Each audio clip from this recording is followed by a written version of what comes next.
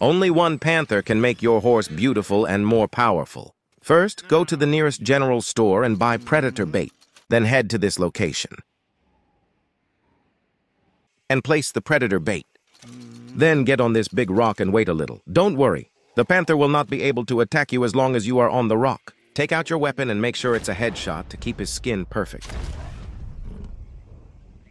Skin it and save the video. You will need it. Now go to the trapper and sell the pelt. Then choose buy and claim your saddle.